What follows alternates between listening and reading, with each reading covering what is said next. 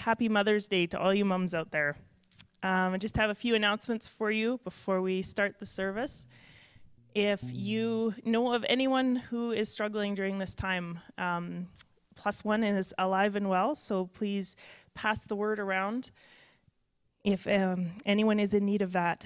If you want to give during this time, obviously we can't pass the offering bag around. Um, but you can still give with uh, e-transfer at donations at mcdougalchapel.com. Um, that should be on your screen. Also, make sure you visit the website, mcdougalchapel.com. There's lots of information on there. Uh, there are Zoom meetings happening every week. Uh, Embrace is now online as well. Information about that is there as well. And uh, the four minute adventure is also there. Um, if you need to contact the office for any reason, the office hours are Monday to Friday from 9:30 to noon, and feel free to get a hold of Pastor Kent anytime if there's anything you need. So with that, I'm just going to open us with a word of prayer. Jesus, thank you for this morning.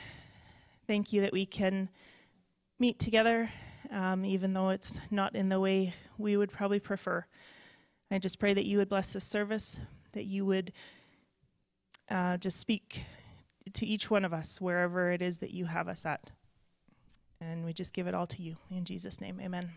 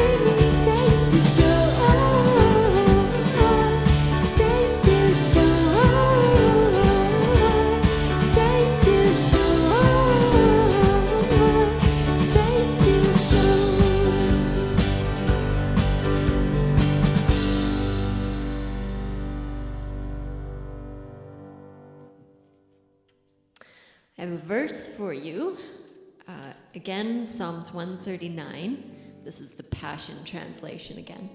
And it's verse um, 34b, sorry, 14b to about 18a.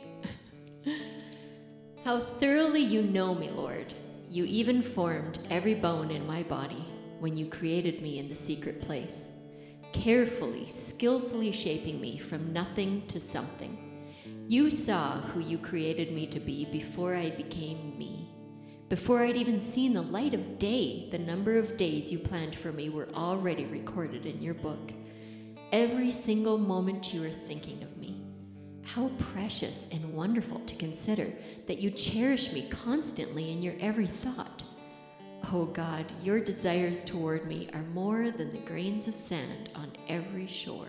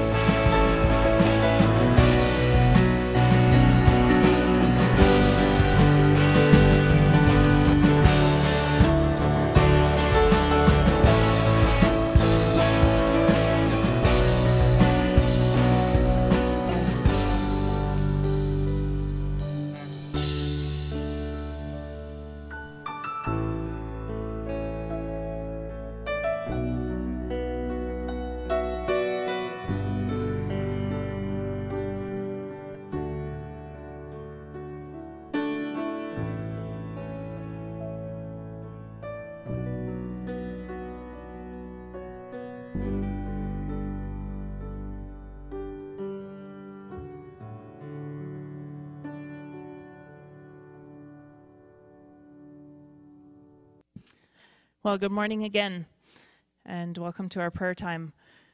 This definitely has thrown me for a loop doing prayer time this way. I miss having all of you in the pews and sharing your requests and uh, praises and hurts and excitements with us. Um, if there's any way that we can pray for you during this time, please feel free to let us know. Being Mother's Day, I wanted to start off with a story. On a hot July morning, I awoke to the clicks of a broken fan blowing humid air across my face. That got me thinking about all the other things that had broken down in my life. Parenting a daughter who has Down syndrome presents unique challenges. Although Sarah's heart surgery and many serious infections were over, now we faced catastrophic hospital bills. On top of that, my husband's job would be eliminated in just weeks, and losing our home seemed inevitable. As I closed my eyes to try to put together a morning prayer, I felt a small hand nudge my arm.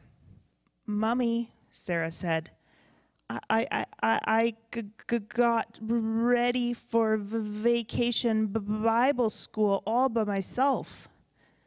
Next to the bed stood five year old Sarah, her eyes twinkling through thick, pink framed glass glasses. Beaming with pride, she turned both palms up and exclaimed, Ta da! I noticed her red checked seersucker shorts were on backward, with the drawstring stuck in the side waistband. A J.C. Penney price tag hung from the front of a new green polka dot top, also on backward. She had chosen unmatched red and green winter socks to go with the outfit. Her tennis shoes were on the wrong feet, and she wore a baseball cap with the visor and emblem turned backward. I, I, I packed a b- backpack too, she stammered, while unzipping her bag so I could see what was inside. Curious, I peered in at the treasures she had so carefully packed five Lego blocks, a box of unopened paper clips, a fork, an undressed Cabbage Patch doll, three jigsaw puzzle pieces, and a crib sheet from the linen closet. Gently lifting her chin until our eyes met, I said very slowly, You look beautiful. Thank you, Sarah smiled as she began to twirl around like a ballerina. Just then, the living room clock chimed 8 o'clock, which meant I had 45 minutes to get myself, two toddlers, and a baby out the door. As the morning minutes dissolved into urgent seconds, I realized I was not going to have time to change Sarah's outfit. Buckling each child into a car seat, I tried to reason with Sarah. Honey, I don't think you'll be needing your backpack for vacation Bible school. Why don't you let me keep it in the car for you? No, no, I need it. And so I surrendered, telling myself her self esteem was more important than what people might think of her knapsack full of useless stuff. When we got to church, I attempted to redo Sarah's outfit with one hand while I held my baby in the other. But Sarah pulled away, reminding me of my early morning words No, I look beautiful. Overhearing our conversation, a young teacher joined us. You do look beautiful, the woman told Sarah. Then she took Sarah's hand and said to me, "You can pick Sarah up at 11:30. We'll take good care of her." As I watched them walk away, I knew Sarah was in good hands. While Sarah was in school, I took the other two children and ran errands. All the while, my thoughts raced with anxiety and disjointed prayer. What did the future hold? How would we provide for our three small children? Would we lose our home? These painful questions caused me to wonder if God loved us. I got back to the church a few minutes early. A door in the sun filled chapel had been propped open, and I could see the children seated inside in a semicircle listening to a Bible story. Sarah, sitting with her back to me, was still clutching the canvas straps which secured her backpack. Her baseball cap, shorts, and shirt were still on backward. Watching her from a distance, I became aware of warm emotion welling within. One thought rushed through my mind, one simple phrase I sure do love her. Then, as I stood there, I heard that still comforting voice that I have come to understand is God's. That's the way I feel about you. I closed my eyes and imagined my Creator looking at me from a distance. My life, so much like Sarah's outfit, backward, unmatched, mixed up. Why are you holding that useless backpack full of anxiety, doubt, and fear? I could imagine God saying to me. Let me carry it. I sensed that God was speaking not only to me, but to all those who struggle with lives that seem backward, inside out, and out of control. We all want to be financially secure, free from illness, and immune to the inevitable pain that life brings. But God calls us to trust that what we need will be provided. It is in these vulnerable times of weakness that we need to give our fear filled backpack to the one who says, You are precious in my eyes, and I love you. Isaiah 43 4. That night, as I once more turned on our crippled fan, I thanked God for the privilege of parenting Sarah. Through her, I realized God had been revealed to me in a new way. I just thought that was very fitting as being Mother's Day, but also just in the times that we're in.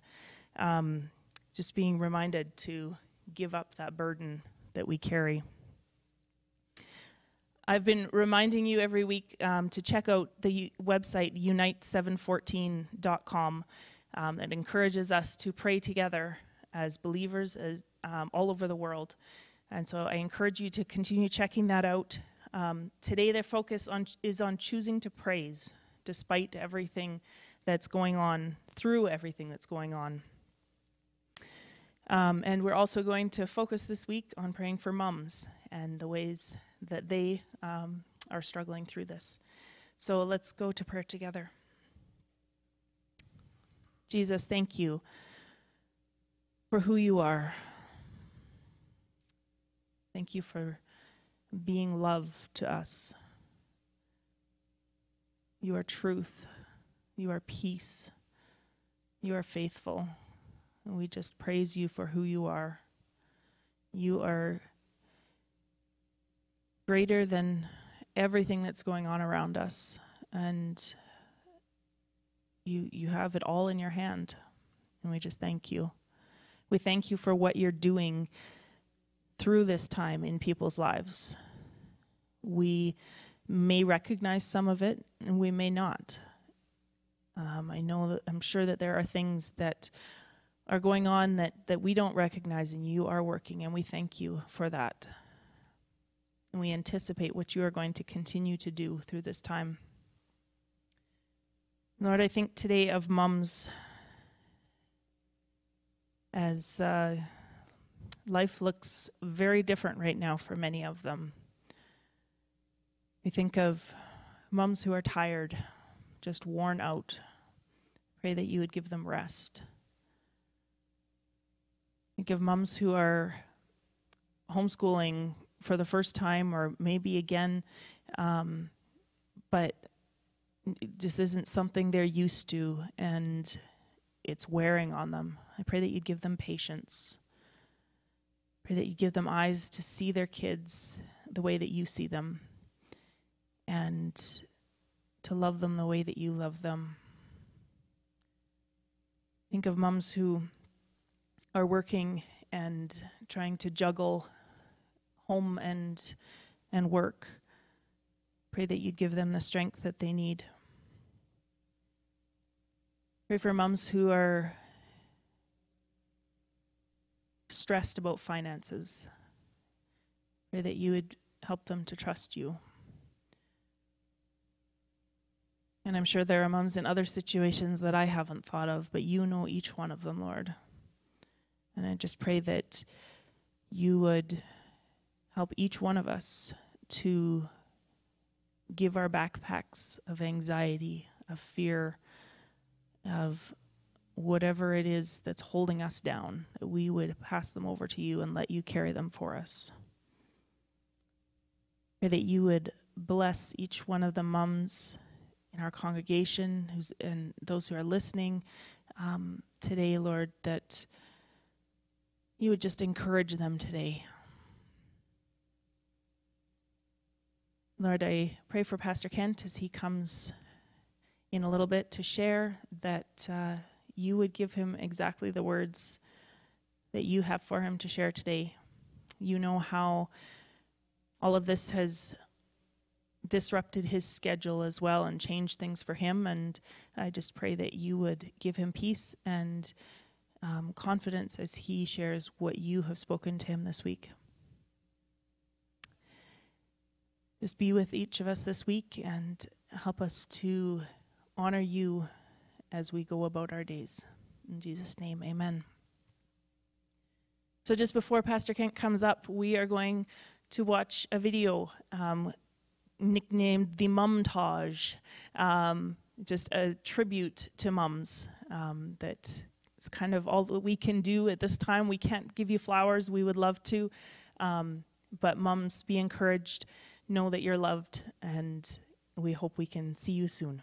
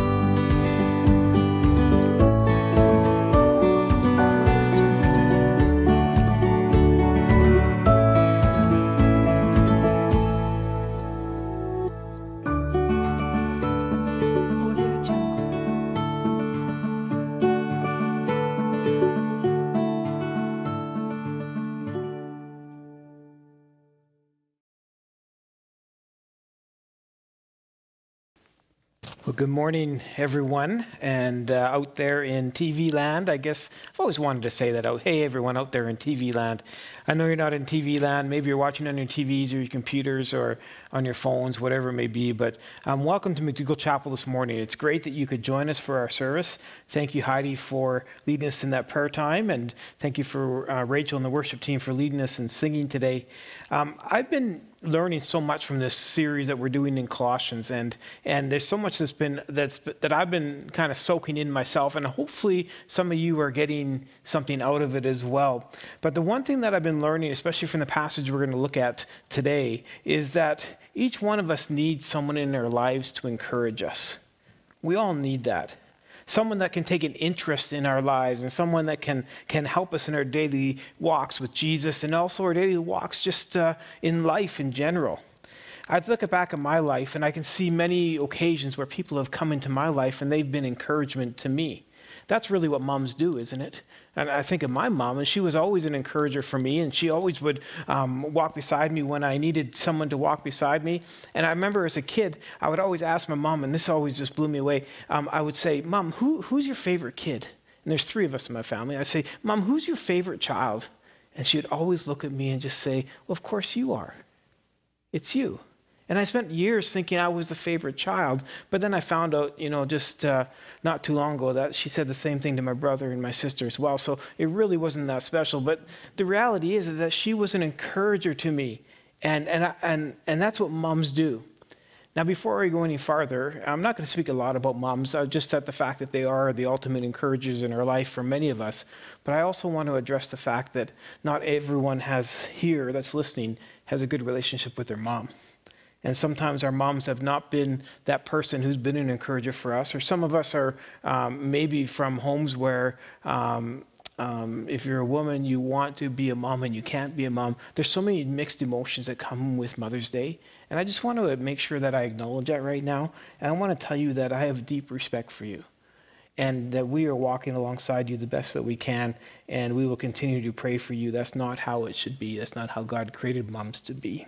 And I just wanted to make sure that that was acknowledged. And I'm not assuming that everyone has a great mom. But for me, my mom, she was an encourager.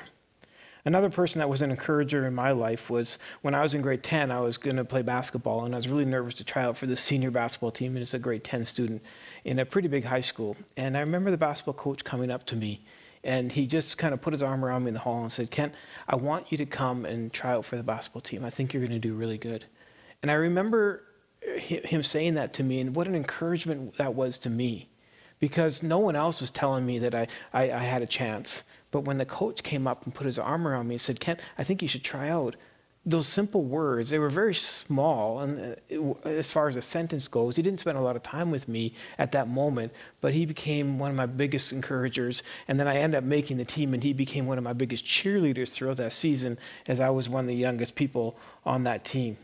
I think back to my first church the first church I ever pastored in Carlyle, Saskatchewan, and it was a tiny church.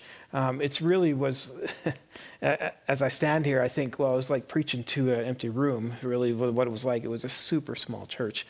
And, uh, but some of the people there were, were just really, it was a really hard place to be a pastor. And I got very discouraged very easy. I was young. I was probably a little bit arrogant, a little, um, little uh, um, hard-headed, whatever it may be and, and I was getting beat up big time in the church. And I remember a man coming to me, he was our district supervisor at the time, and he came up to me and just put his arm around me and said, Kent, I want to tell you that you have great potential as a pastor. And I remember that those words so clearly, how they were such an encouragement to me. When someone encourages us, usually it comes at the right time. Usually it's the perfect time, and it's usually exactly what we need because we start to realize that we can't do life on our own strength. We can't, um, we can't be all we want to be all by ourselves. We just weren't made that way. And sometimes we need someone to kick us in our pants, and sometimes we need someone to put their arm around us. Sometimes we need people to point us to God and to remind us what our purpose in life is. But we can never forget those people who have encouraged us over the years. I want you to think about your life. Are there people that have walked alongside you? How did it feel? Was it a good thing? Were they encouragers for you?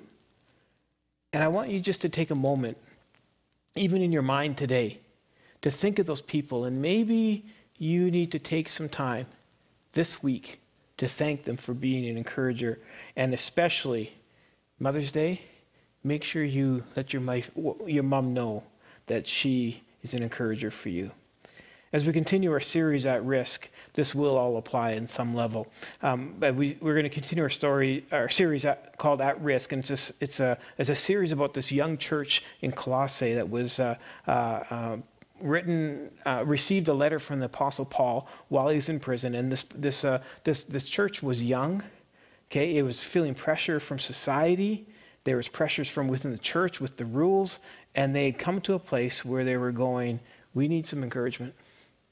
And so Paul writes this letter, and, he, he, and, he, and he, he's going to use this letter to speak truth into this church, but he's also going to spend some time, as we're going to see in the passage today, where he encourages that church. You see, that church is at a little bit of a tug of war. They had pressures around them pulling them one way, and then they had pressures that they knew were right pulling them the other way, and they were having to distinguish, you know, what is from the Lord and what should we just kind of discard, and there was great pressure on them. So Paul comes in as this encourager, and, uh, and that's what we're going to find in this passage today that he's going to tell them there's something good that's yet to come. I want to tell you this. You may not feel like you guys are doing a good job as a church, but there's something better that's yet to come. It's so easy, folks, to become discouraged, especially in this time that we live in.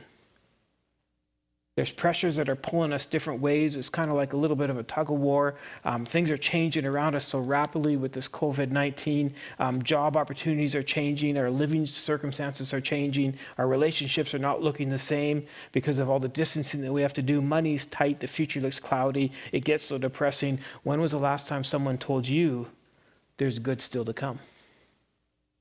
When was the last time you told somebody there's good still to come. And Paul writes this book to this church in the first century. And I want to tell you that the passage we're going to read today is just as relevant today as it was back then. And it's a story that says the good is yet to come. I'm going to read this passage to you. It's kind of lengthy, but I want you to remember that it's from uh, um, Colossians chapter 1, verse 24 to chapter 2, verse 5. So it's uh, quite a few verses, but I'm going to read the whole thing. But as I read it, I want you to just to remember exactly the context. Paul, along with Timothy, are writing this letter to people they've never met. And listen carefully to the tone that Paul has for these people, this church, as he writes this, writes this letter from prison in Rome. And I want you to imagine just for a moment that he's writing it to you. That this part of, of, of this encouragement is written just for you. That's what I did when I was reading it this week. And uh, when I was done reading it, I came up with three points that kind of popped out in my head about that, that, that Paul kind of spoke through this passage, and they were very applicable to me. And I want to share them with you, but I want you just to kind of do that exercise for yourself and just, as I read this passage, consider this letter written just for you. I'm glad when I suffer for you in my body, for I am participating in the sufferings of Christ that continue for his body, for, for his body, the church. God has given me the responsibility of serving this church by proclaiming his entire message to you. This message has, was kept secret for centuries and generations past, but now it has been revealed to God's people. For God wanted them to know the riches and glory of, of Christ are for you Gentiles too. And this is the secret Christ lives in you. This gives you assurance of sharing his glory. So we tell others about Christ, warning everyone and teaching everyone with all the wisdom God has given us. We want to present them to God, perfect in their relationship to Christ. That's why I work and struggle so hard depending on Christ's mighty power that works within me. I want you to know how much I have agonized for you and for the church at Laodicea and for many other believers who have, have never met me personally. I want them to be encouraged and knit together by strong ties of love. I want them to have complete confidence that they understand God's mysterious plan, which is Christ Himself. In Him lie hidden all the treasures of wisdom and knowledge. I'm telling you this so no one will deceive you with well crafted arguments. For though I am far away from you, my heart is with you, and I rejoice that you are living as you should and that your faith in Christ is strong. When you're struggling, something truly amazing happens when someone shares those struggles. Some of my deepest pains that I've had in my life is, is when someone who has gone through the same journey as me and kind of walked beside me. And has helped me heal so much better and so much faster. So I ask you this question before I get into these points that kind of popped out to me. It's the question is this Where is your struggle today? Really look into your heart and ask that question Where is your struggle?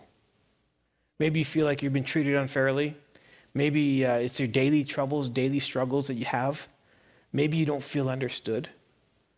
But Paul writes that passage that I just read. He's in prison because he followed Jesus. He wasn't being treated fairly. He had some daily hardships. He was not understood. And the thing that really stood out to me in this passage, and it's really the heart of this whole passage, is that Paul was struggling too. He was struggling as he wrote this. And it just kind of points out to me that you're not alone as you suffer. You're not alone as you suffer. This is really the, the whole gist of this passage, is that you are not alone. As Paul writes this letter, he's writing from a place of, of hardship, and he's writing to a church that's in hardship, and he's saying, We're in this together. When I was a skinny kid in, the, in my 20s, I was working for uh, Stucco Crew. It was my first stucco job. And the very first job that I got um, was being a laborer. I was a laborer on this crew. And that's, you have to do that before you actually become a plasterer.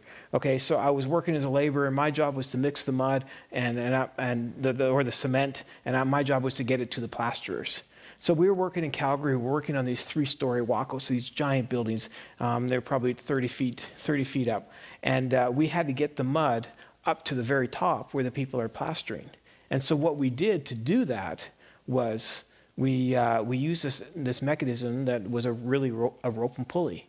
There's a big five gallon bucket in the bottom, and then put a rope on it, put it up to a pulley on top, and then you pull this bucket of mud up. So here I am, this skinny kid. I'm in my 20s, not feeling very strong. I probably thought I was pretty strong. And I filled up my first bucket of mud, and I tried to pull it up, and I couldn't get it up more than 10 feet. And I was thinking, oh my goodness, I cannot do this job. And I remember those, those first few days only being able to put up half buckets of mud and, and uh, people are laughing at me and, you know, all those kinds of things you do on the construction site. And I was feeling so discouraged. And I remember this one plaster, I was making some, some, some cement in the front of the building and they were all in the back. And he came up to me and he just says, Kent, I want you to know that I know exactly how it feels. When I first started working here, I couldn't lift a bucket of mud up either. And I want to let you know that if you keep working at it, someday you're going to be able to do it. And he was exactly right. It wasn't more than a week and a half. And I was filling up full buckets of mud and I was hauling them up the rope and pulley and I was carrying them up ladders and doing all those things. And it was pretty amazing what that man's words were to me that encouraged me. He says, I've suffered with you exactly like you're suffering now. I know what it's like. And that's what Paul is saying in this letter. He says, I know what it's like to have hardships. I know what it's like to really struggle. And that is an amazing gift. It's empathy. Empathy is an amazing thing we can give people. It's easy, so easy to focus on ourselves and say, my problem's the biggest, or my feelings are the most important, and my struggles worse than yours. But when we can develop an attitude of empathy to other people and people show it to us, it's an amazing how that can help us through the struggles that we're in. So the very thing that first thing that pointed out to me is that we're not alone in this in this battle that we're on in this world and this earth. And even in your own personal life, you're certainly not alone. Someone has walked that journey before, and someone's going to walk that again in the future. The next thing that popped out for me is this secret that Paul's talking about. He says in verse 27, and this is the secret Christ lives in you. This gives you assurance for sharing his glory. Want to know what the secret is? Well, it pops out to me that there's hope in Jesus Christ. In the midst of our struggles, Paul says, whether you're Jew, whether you're Gentile, if you're part of God's body, if you're part of the body of Christ, that you can trust Jesus for forgiveness for your sins, there is assurance, there's confidence that you can have because Jesus lives in you. Paul was in prison, Christ lived in him. And what that means is that as he's following Jesus, the Holy Spirit was leading him everywhere he went. And he, he had surrendered to the lordship of his in, in, lordship of Jesus in his life, and he was going through this journey knowing that Christ lived in him, and he had confidence and assurance to do things that he wouldn't be able to do in his own strength. For a church that is struggling, there was hope in knowing that if Christ lives in them, there is, there is a hope there's a hope they have. And there's confidence and there's hope for you if you are struggling to know that if Christ lives in you, there is hope. So here's the question that I need to ask Does Christ live in you?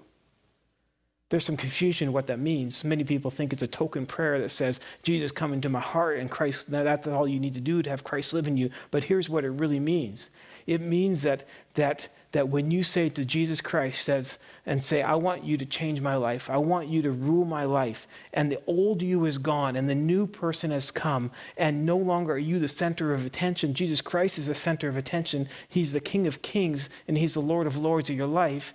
Then all of a sudden you are starting to live like Christ lives in you because the old you is no longer in existence. I know this and you need to know this that the struggles of life do not go away when, you, when Christ lives in you. Paul didn't get thrown out of prison when he said Christ lives in me. He still had to live in prison. But what changes is this is that there's a confidence that you can have that the things of this world do no longer are the ones that are ruling. The one that rules is Jesus Christ, the one that lives in you, and that is where our confidence comes from. That is where our hope comes from. So you're not alone. Christ lives in us, and that's the secret. And here's the last one is that there is hope and there is an opportunity to thrive in life. Listen to verse uh, 3 in chapter 2. It says, In him lie hidden all the treasures of wisdom and knowledge. I'm telling you this so no one will deceive you with well crafted arguments. When you put your hope in Jesus Christ and he lives in you and the Holy Spirit starts to guide you, then what happens is there's a hidden wealth of treasure and knowledge, of, of wisdom and knowledge that you can tap into. And it's not, it's not something that you go, oh, I think I'll just take this out of my, my wisdom hat and put it in for today. No, what it is is a, an assurance, a confidence that says, Holy Spirit, wherever you go, I know that you're going to be with me and you're going to be guiding me. When we follow Jesus, what happens then is that no one and nothing can separate us from the love of Christ. When you have that wisdom and knowledge that the Holy Spirit gives us, you can walk through struggles that you are facing. Doesn't mean the struggles go away. You can just navigate them just a little bit differently. I heard somebody say once that the problem is not the problem, the attitude to the problem is our problem. Okay? And I always tell that to my kids, and they roll their eyes and go, "Oh, Dad, here's t- telling me these stories again about this, uh, the attitude to the problem and all that kind of stuff." But I want to change that a bit to the context of what I'm saying. What you're facing today, folks, is not the problem. It is who you are trusting with the problem that's the problem. The choices are really this.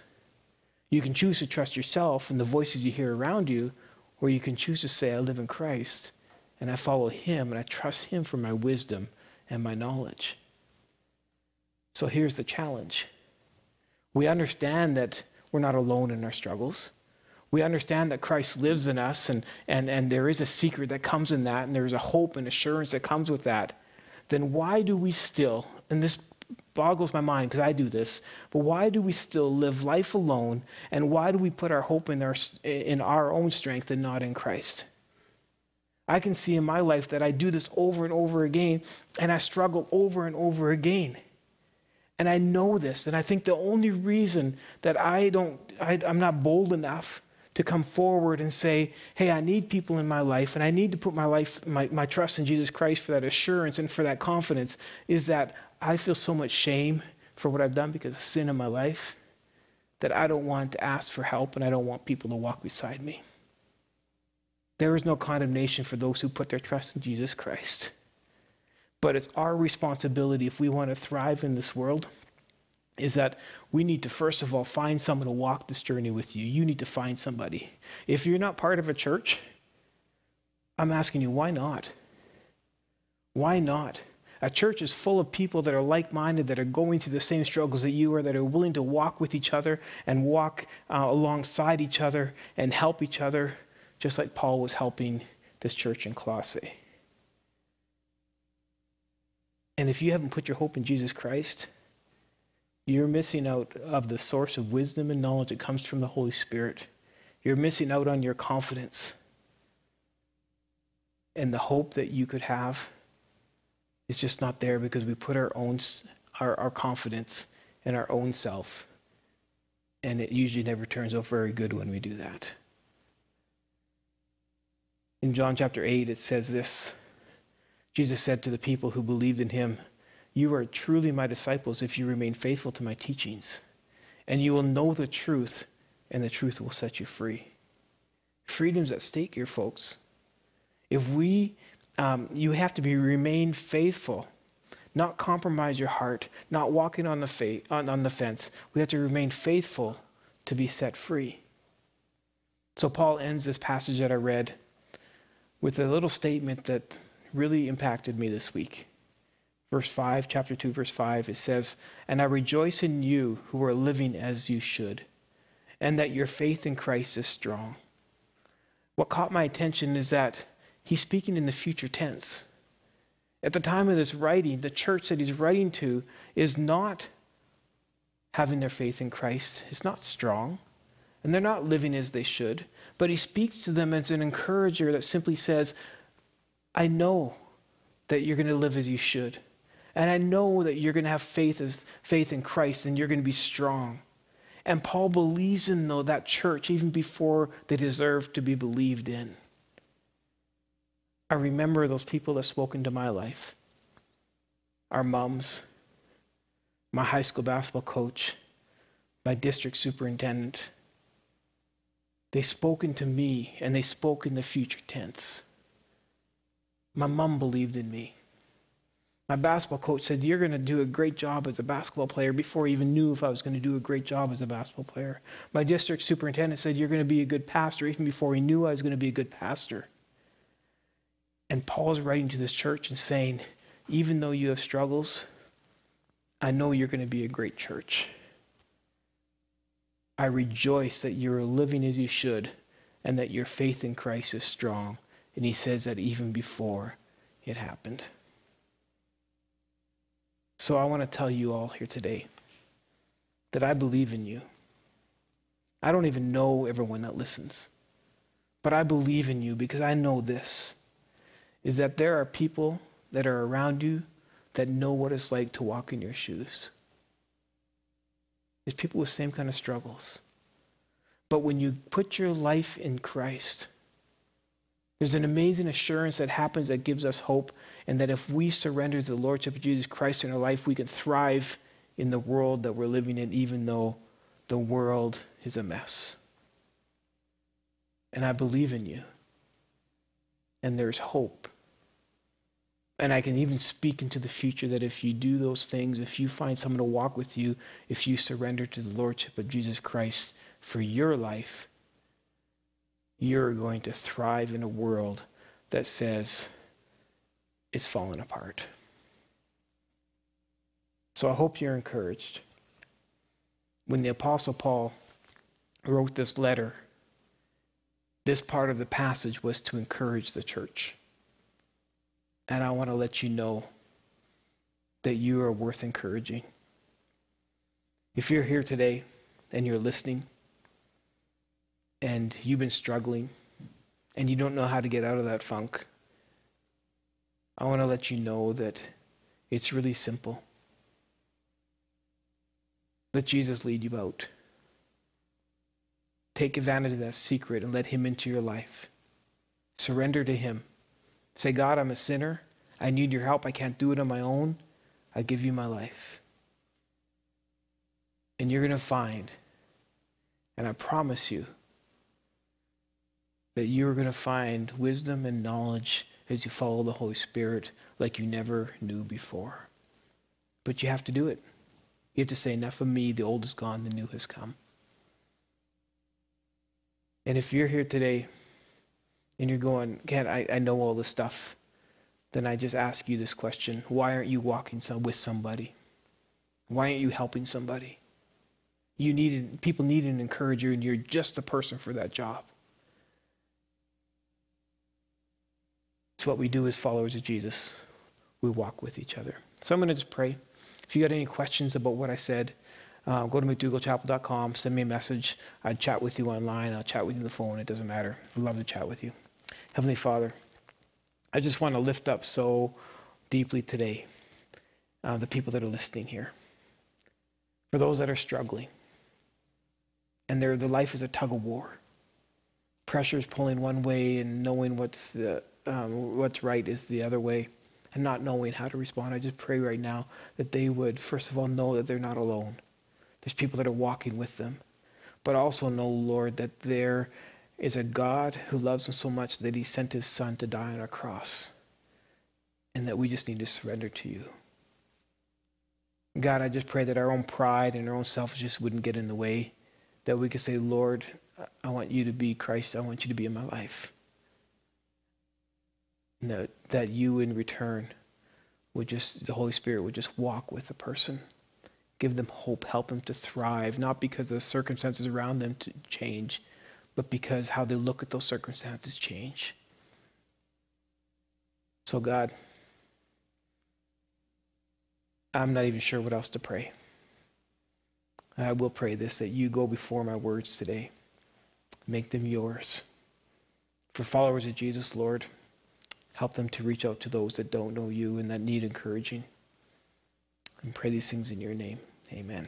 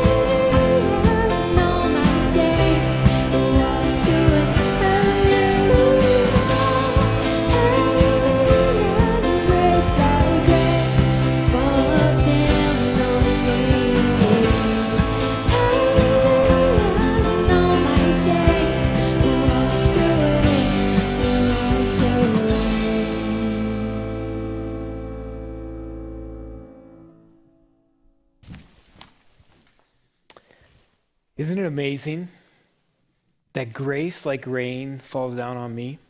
I'll tell you what happens. It's because God believes in you. He believes in you. May the Lord bless you and keep you, make his face shine upon you and be gracious to you. May God give you his precious peace. Amen.